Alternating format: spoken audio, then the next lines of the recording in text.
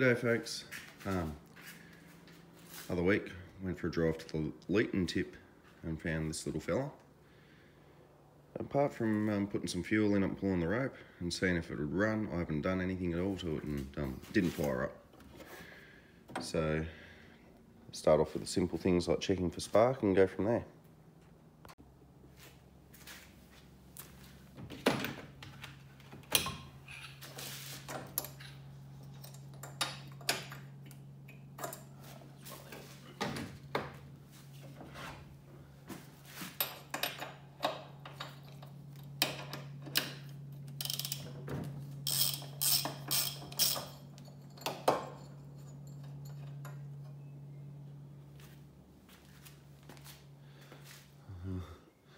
Uh, okay. It Or perhaps the choke side of things is not working that well. We'll just try another plug before we get too carried away. That plug smells very um, fuely, but there's a lot of deposit there like oil.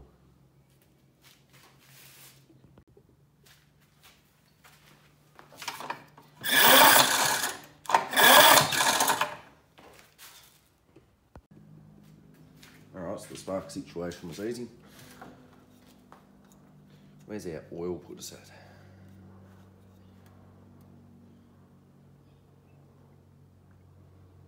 It's black, but it's got some in it. Alright, take it out the front and um, give it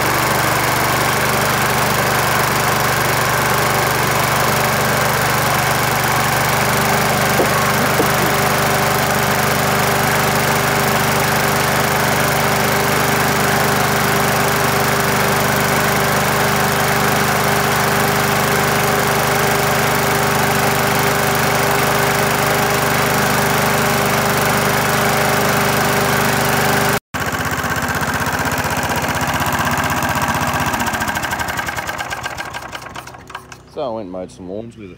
And um, every so often it was just going into this weird thing where it was grossly over fueling. So um, anyhow, we'll drain this oil out while the engine's still hot. And maybe rip into that carburetor. I haven't got a diaphragm for that one, so I'll have to order it and we'll come back to it. Alright, so where to next? Um, I dumped the oil while it was outside and still nice and hot. To solve our overfueling issue, I'm going to jump on online in a minute and get a diaphragm kit for this carburetor. Need to redo this starter rope.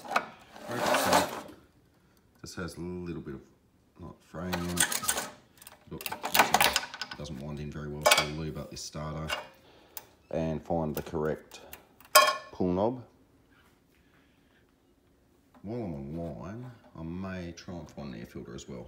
I've got the housing, it was obviously on in the video, but it is quite old and crumbly. I'm not sure where I've put it now. Okay. Rightio, we'll get that one.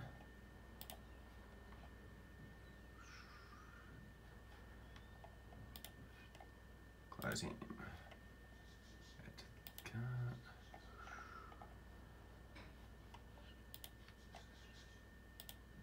I have no affiliation with these guys, but you know, they're pretty reliable. So, yeah. add to cart. They're not always the cheapest ones anyway. Alright, I'll finish ordering them and we'll get back to it when they turn up. Right, yeah, mind the rain, guys. Um, it's coming down pretty hard at the moment. So in the mail, we've got the actual proper pull knob. Brand new air filter. And our diaphragm for the carburetor. Uh, start off by taking this fuel tank and starter off.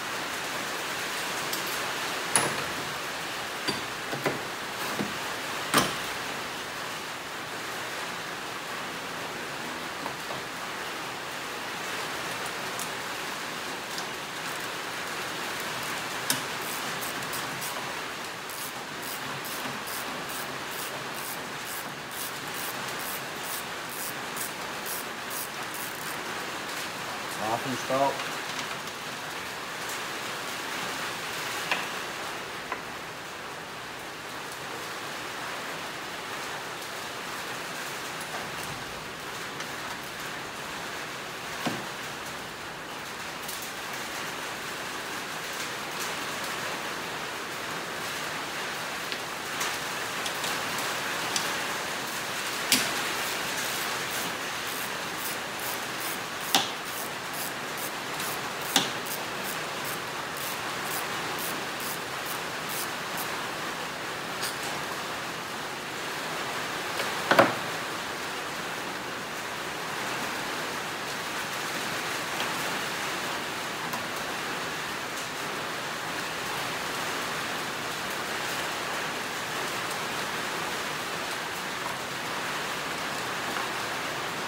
Starters come away.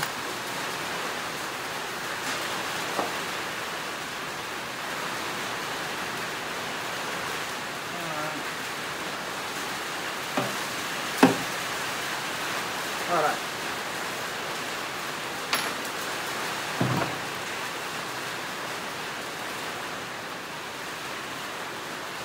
About all we need to take off from there. So we'll um, move across and start pulling this carburetor apart. Righto, so we've got some flathead screws around the edge of the carburetor on top of the tank here.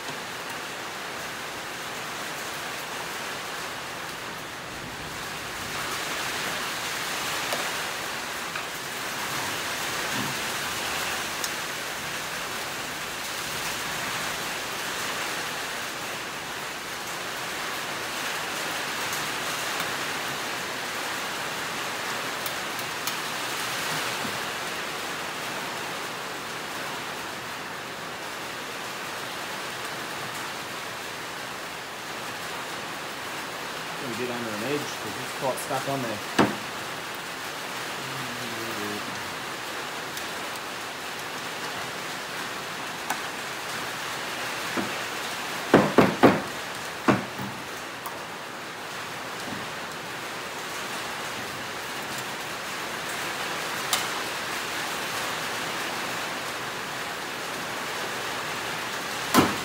Oh, there we go.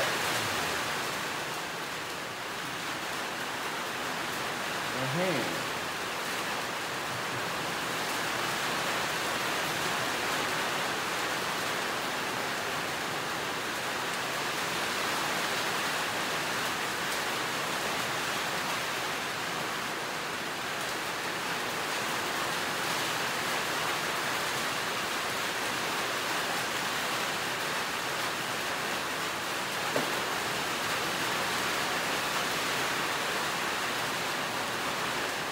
Luckily we got a new spring because that one just between walkabout.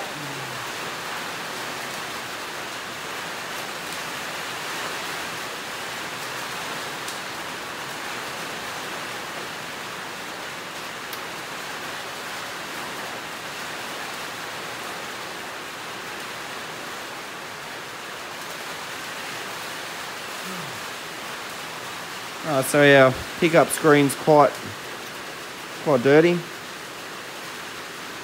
Mainly shit on the outside of it. No big deal. And just pull out this um, jet here. Might just drop the whole unit in the ultrasonic cleaner just to get the bulk of this crap off.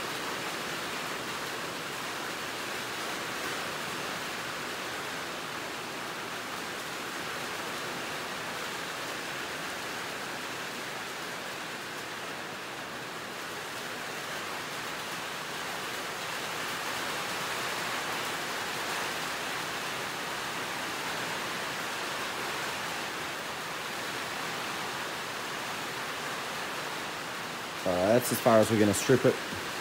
I do think these can come out. I've popped them out before. That looks glued in on this one though, so just want to leave it alone. I'm reasonably sure we can get that clear. Uh, maybe not in the ultrasonic cleaner, but I can get some spray to put in it. But let's just get the outside of this done. So round one in the ultrasonic cleaner. Not perfect. A Thousand times better. So what I'm going to do is just sort of help it along a little bit. So all this gunk is actually loose, it's just sitting there. So I'll scrape it away and chuck him back in and we'll see how it turns out. So round two in the um, cleaner, ultrasonic cleaner. This is looking pretty snazzy. Still a little bit wet. The um, choke butterfly still has a bit of carbon on it, but this thing is clean as. Still a little bit of carbon on the throttle butterfly. And if you want to be really anal, down in the corners there where I didn't loosen up the dirt, there is a couple of specks still, but very happy. Um, way cleaner than it was. And I've gently blown on the filter screens. Be nice, free and clear as well. Okay. While that was in there, wiped the tank down, cleaned out in there. Still looking pretty good. I did this off camera. Um, our starter. I'd done it while the ultrasonic cleaner was running, so you wouldn't have been able to hear anything. And I didn't really want to sit sit down for 15 minutes and wait. I left the same rope in there, um, cleaned the spring, and put the correct pull knob on there. Normally I'd replace the rope. This one's been replaced before. Um, had no signs of fraying or anything. So pretty much, yeah. Took this cover off, sprayed the um, spring out with some solvent, put a light film a very light oil in there just to keep or lubricate it. Put this dust cover back on. Don't use a heavy oil in there because it'll attract dust and stuff. Something like, yeah, multi-purpose spray, WD-40 at a pinch. Um, just to give it something so it's not completely dry. And also there's a little roller in behind this cover here, which is on a pin, which I've lubricated as well. So it should work fine. Let's put the sucker back together. Okay. Mm, gotta clean that. Uh, that one's rubbish. I found our little spring off the diaphragm. Yeah, fell in the drawer. And diaphragm, ah, fuel pump diaphragm spring.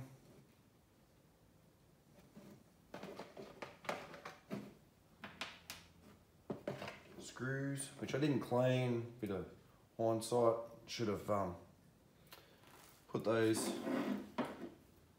in to get cleaned as well, but I didn't. Anyway, Start by this jet.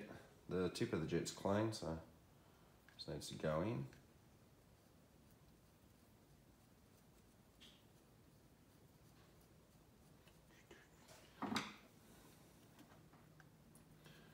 So just as a sort of a baseline, we'll work on it when the engine's running.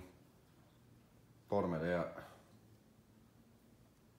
One and a half turns and I'll work on that while the engine's running.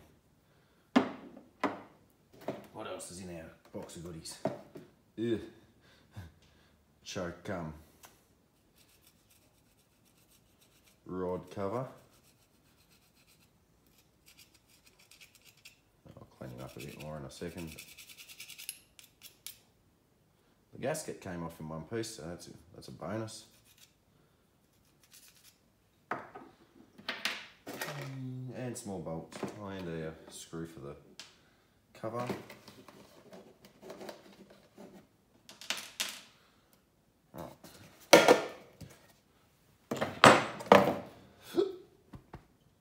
So a lot of people make a mistake putting this spring in the bottom of the fuel tank and you can see how it happens. It's um, quite a neat fit. The thing is, it actually goes up here. So as the vacuum of the engine pulls the fuel uh, pump diaphragm up, the spring's there to push it back. So it acts as a, um, you know, the vacuum's on, vacuum's off, pumps it. Um, put it in there, it's not gonna pump very well. But it can be a little bit tricky to get your thing up the right way and screwed down. But we'll work on that. Where's our new diaphragm? I haven't done one of these in years, so let's just learn as we go. Did I order the right diaphragm is the next question. Mm. Yep. Our spring goes under the bottom here.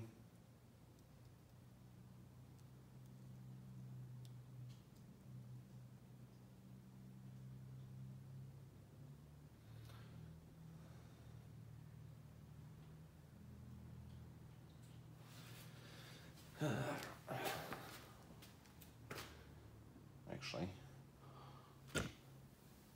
what's the best way of doing this, folks?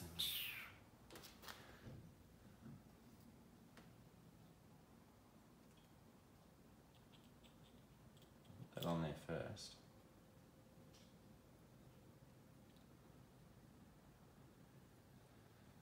Up our choke rod.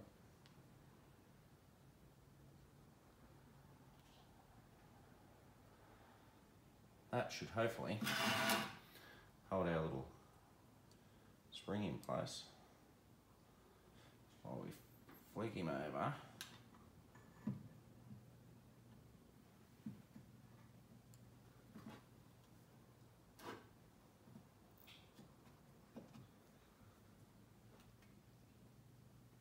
Now we've just got to sort of move that around and get it into place.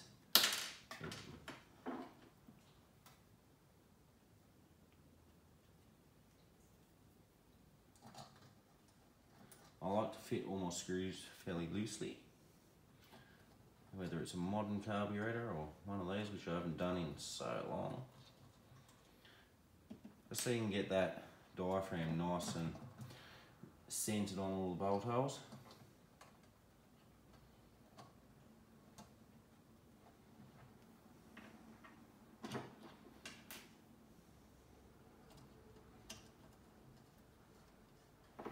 And memory, you're supposed to hold the choke flap open as you tighten these up. I don't know whether that puts like a bit of um, tension on the diaphragm or well, I think I saw that on David's farm video, so it may not be correct. But we'll try it this way. We'll find out if we got it wrong.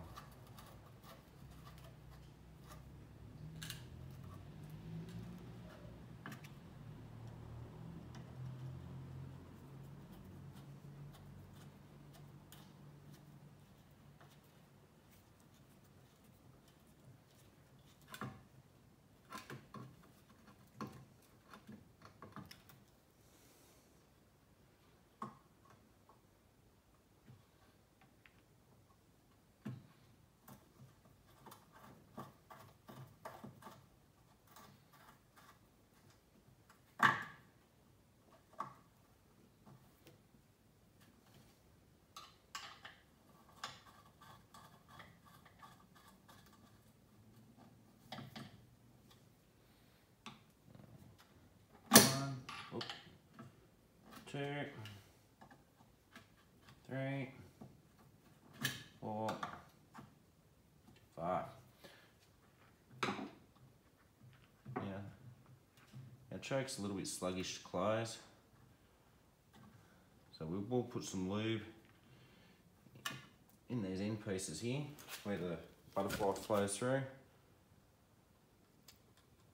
And just work it backwards and forwards.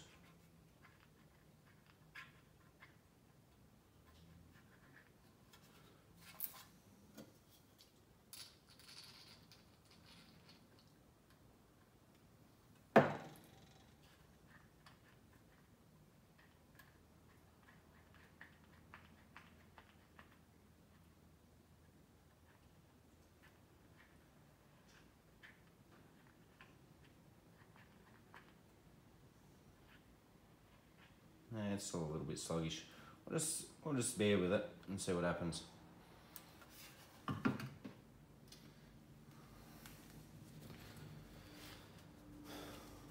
I'm not going to sell this mower. Um, can get stuck in the collection. And if I was to sell it, I may end up putting. I've got a couple of these ones. Just your primer style carburetor on it, not for the sake of they, they run any better.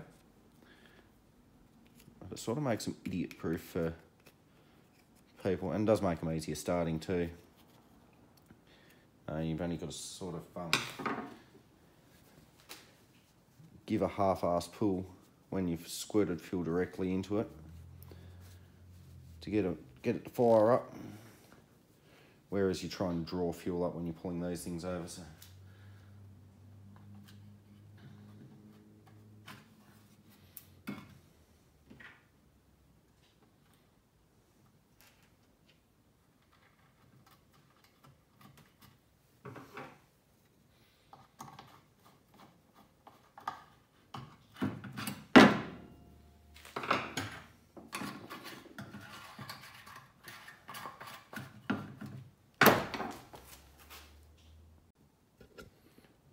Rightio. Um, I've actually shone a torch in behind this heat shield here. It's quite clean. So I'm not going to worry too much about getting rid of all this debris today anyhow.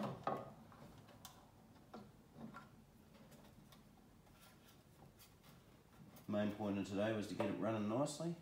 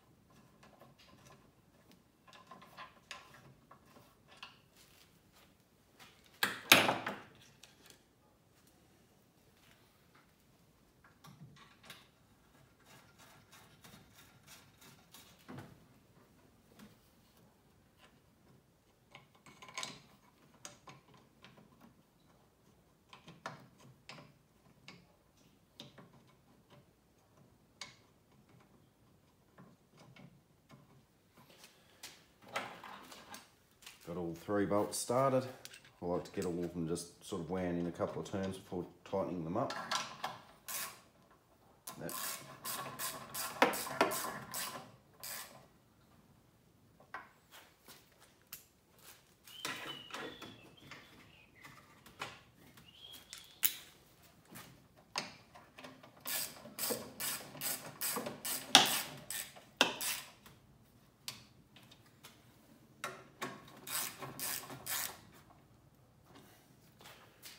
Righto. I don't know what I've air filter housing. Mm, we'll put some oil in. Then I'll come back tomorrow morning. We'll take it out the front. Hopefully I found the air filter housing by then and slapped it on and go for a spin. So of course the camera battery died last night um, as I was putting the oil in. So I've filled the oil up, I've put an air filter on. Now all, all there is to do is take it outside, put some fuel in and uh, see how we go.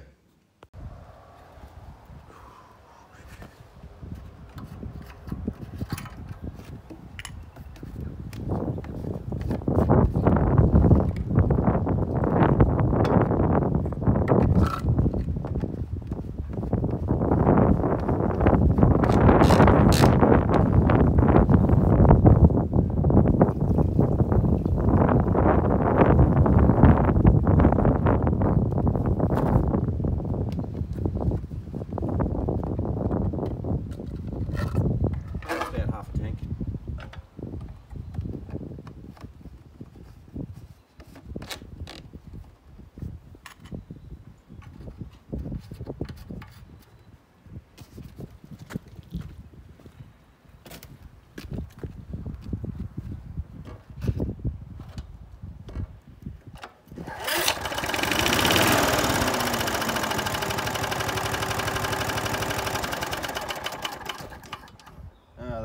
Too easily. Um,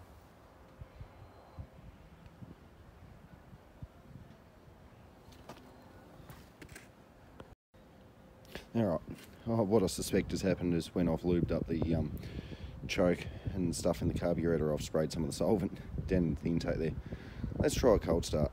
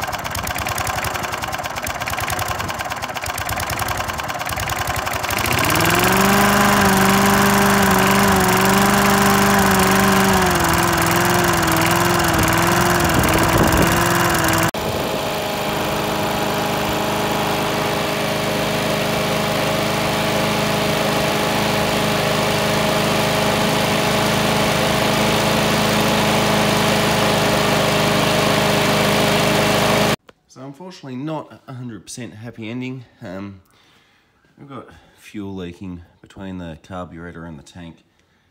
And it's quite common to find that the carburetor has uh, warped and the new gaskets aren't as thick as the old ones either so we've got a leak there and that's causing problems with mixture.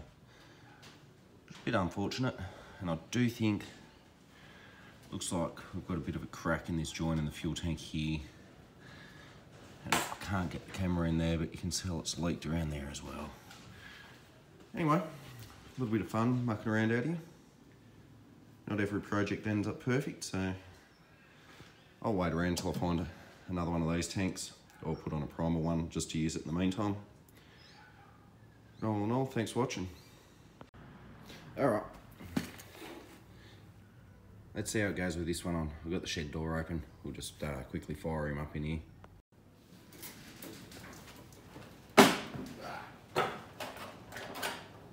Run.